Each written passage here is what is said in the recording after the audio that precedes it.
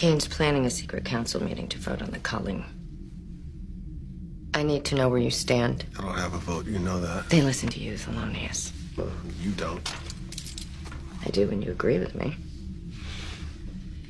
Uh, Abby, the CO2 scrubbers are already failing. The symptoms of oxygen deprivation are everywhere.